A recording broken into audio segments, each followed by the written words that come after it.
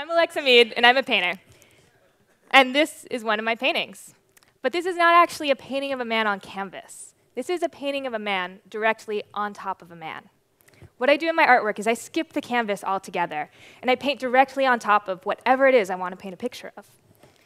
I developed this process for painting in three-dimensional space that when you photograph it, it looks like a flat painting on canvas.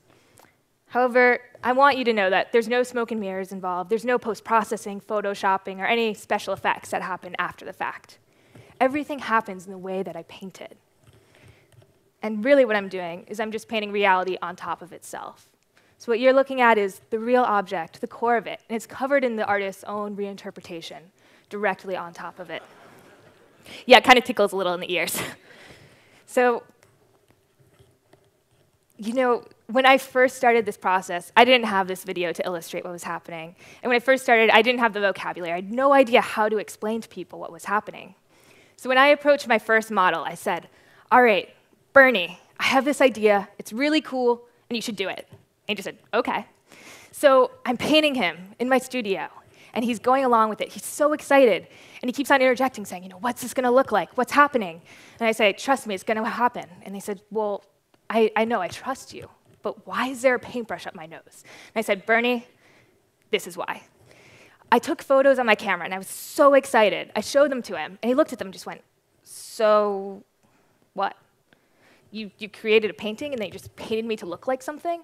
I said, No, no, trust me. Go to the bathroom, take your cell phone camera. He took a picture in the mirror and all of a sudden I heard screaming, shrieking coming from the bathroom. He couldn't believe his own eyes. Even though he was the artwork himself and he'd gone through this whole process, he still could not believe his cell phone camera.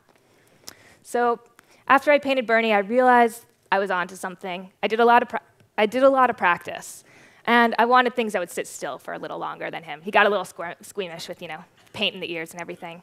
So I started painting on fruit, eggs, whatever I could get to sit for me for an extended period of time. And it was, it was fun. I learned a lot. Like, how much paint does it take to fill up a piece of toast? I didn't realize that toast would just be a giant sponge for paint. And then when it came to painting on the grapefruit, by the time I'd finished painting one section, all the paint would have dissolved from the acid in the citrus. I'd have to put more and more on. So that's why there's this kind of Van Gogh effect there. So after I started painting on all these fruits, I tried getting models. No one was really interested. They didn't understand what the heck was going on. So I decided to paint the only model who was willing to really sit. And that was myself. So I decided for this piece, it was one of my early ones, that I wanted to create one painting in three-dimensional space. I'd paint on myself, but then I'd create 500 images in all different poses. So I painted myself, and I want to let you know it's really hard to paint the back of your neck. I had to kind of take a picture from the side and look at the picture and paint, and I worked it out. So after I did the painting, I posed as many ways as I could. And I went and I told my friend, all right, this is one painting, 500 ways. She flipped through the photos and went, So you created 500 paintings and made 500 photos of them? And it just wasn't clicking. So I decided it was time to do something a little more drastic. I painted a man and I took him in the DC subway. and everyone in the subway was just going, What the hell is going on here? It was finally clicking. People were having to confront it head on and see this man covered in paint walking through this space.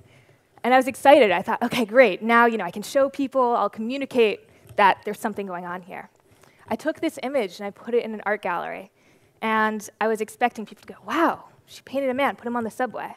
Instead, I got people walking by, oh, yeah, that's a nice piece of artwork. And I think most artists would be a little disappointed if that's what happened when people walked by their work. But I kind of got a kick out of it because no one stopped and went, What the hell is going on? Because it was so far outside of that range that they didn't even think to question what the hell was going on.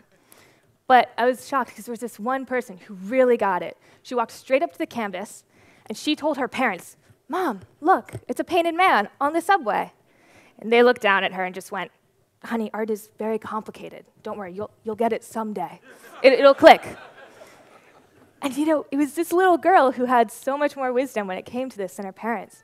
And I realized that maybe it was because she didn't have 10 or 20 or 50 or 70 years of looking at artwork. She didn't have this bias of what to expect when she looked at the picture. She was a completely blank slate and could actually see what it was right in front of her. And you know, a lot of people tell me, you know, Alexa, it's too bad you didn't go to art school, because maybe you'd be an even better painter or better photographer. And I think, well, maybe it's because I didn't learn that there was a specific sequence of events that happens when you paint, that I was able to approach this with fresh eyes, like that five year old girl. I could come at this kind of sideways. And to tell the truth, my main inspiration this, for this project didn't come from other artwork, it came from my past in politics. I spent my high school years and college years interning on Capitol Hill. 08, I worked for Obama in Colorado doing political communications. And I became absolutely fascinated with political spin. How you can take this one core piece of information and then twist it so many different ways just with these slight cosmetic tweaks on the surface. And so I thought of, well, how can I take something and just put a thin layer of reinterpretation on top of it that drastically alters the way that we perceive information? So when I graduated from college, I decided this was what I was going to do full time. This was at my first art show. There were a total of 12 people there, and that includes me, my model, my two parents. and it was the greatest victory for me. I was so excited. People were seeing what I was doing, and I was really believing in myself. Most of my friends did not believe in me. They thought it was absolutely crazy. They were trying to get me jobs on the Hill, trying to get me to work in the Obama administration, but I just wanted to follow my passion and make artwork. Well, my friends' opinions of me all changed actually on, it, uh, what was it, March 10th. One of my friends sent me a Facebook message. She said, Hey, your work's on Kottke.org. And I responded back, Cool, what's a Kottke? I had no idea. I just Googled myself. I saw there was a picture of my art, one sentence in my name, and I was like, wow, I'm on the internet. Who knew? And I just kind of forgot about it well, I forgot about it for 45 minutes until all of a sudden phone calls started pouring in, emails. Everyone wanted to know what the hell I was doing with this project. How could I turn this person into a painting? Um, phone calls after phone calls. I got one phone call at 5 a.m. I picked up the phone. I was like, what? I, some guy in this British accent. It was completely unintelligible. And it's just like, you know, I call, call back later. I hang up. He calls right back a second later. And I'm like, oh shit, I just hung up on CNN. And it's just, this total whirlwind. It was crazy. All sorts of amazing offers came my way. My favorite, conference in Monterey. But another cool one actually was at the Saatchi Gallery in London. This show actually happened 51 weeks after my first show in Baltimore. And this time I had, you know, some of the same people in attendance. I was there, my model, my two parents, and then 3,000 other people. it was the largest show opening in Saatchi Gallery history for this group show. And it was absolutely incredible. I would have never dreamed that I would be at the Saatchi Gallery, and I would have never dreamed that I would be there for painting, especially because it turns out when I was 16 years old, I said that I would never paint again. I made a lot of art growing up as a kid. And when I was 16, I became obsessed with painting. I just couldn't stop. And I was working on this self portrait, and I got overly um, perfectionistic with it. I had to get it right. I'd think I'd be done, I'd notice one tiny little flaw. I'd go back in and completely rework the entire thing, wipe it out, and just kept on starting over and over. And this perfectionism turned into obsession, and just all of a sudden, it wasn't fun anymore. And I realized that this was not what the place I wanted art to be in my life. So I decided, you know what, I'm gonna put down my brushes. This is not good for me right now. And I started doing sculpture and exploring space and got really excited by a bunch of other projects I was doing. And then, six years after I put down my brushes, I had this amazing idea for this current body of work I'm doing now. But I realized I'd have to get back into painting to do it. It was really hard for me because I had all these negative associations with painting. I didn't want to go near it. So when I started this project, I told myself, well, it has to do with space, so it's installation, or there's a person involved, so it's performance, or I take pictures, so it's photography. It was anything but painting. And the way that I was able to also just get back to this was I told myself that I wouldn't do any sketches on canvas. I would do everything completely different than before. So I'd create my compositions in three-dimensional space and I'd look at it and that was how I made up my mind about what it would look like. And the other thing too is that before with painting on canvas, I could never leave it alone. It was never finished. And I made a goal that anytime I painted on something, it would be something living, whether it was a person or it was organic food that would eventually rot. So there was this constraint of time. It's not like I can paint on a person and then say, Great job today, see you tomorrow. Because once they shower, it's done. And frequently, what will happen is I'll be painting along, be going great. The person will go, Alexa, kind of need to go to the bathroom. And I'll be like, all right, okay, almost done. And just hurry up and be done.